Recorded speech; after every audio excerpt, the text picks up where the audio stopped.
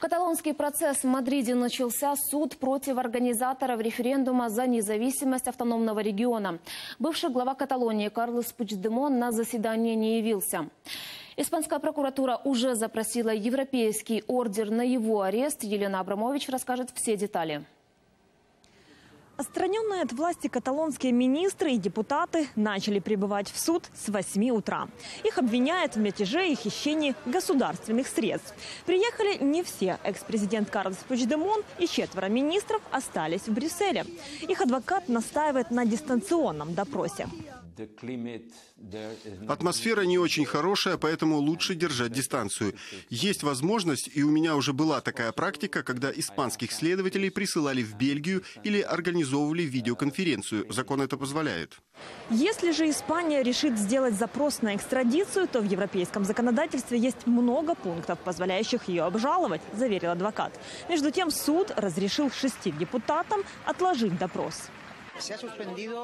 Допрос приостановили, чтобы мы могли лучше подготовиться к защите в следующий четверг и предоставить дополнительную информацию. Что касается министров, прокуратура потребовала арестовать всех, за исключением одного – министра культуры. Он ушел в отставку перед провозглашением независимости Каталонии и согласился сотрудничать со следствием. Пока суд вел допрос, возле здания собрались сторонники независимости. Среди них и предшественник Пучдемона. Мы все здесь, чтобы поддержать членов правительства и парламента. Это всегда нелегко, и со стороны многих наших людей есть ощущение несправедливости. Суды и насилие не решают конфликт между Испанией и Каталонией. По-настоящему это можно сделать только политическим путем. Между тем, более 100 академиков и евродепутатов обратились с открытым письмом к руководству Еврокомиссии и Евросовета.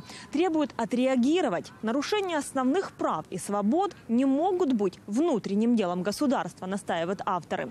А городской совет Барселоны признал отстраненное каталонское правительство легитимным, но независимость не поддержал.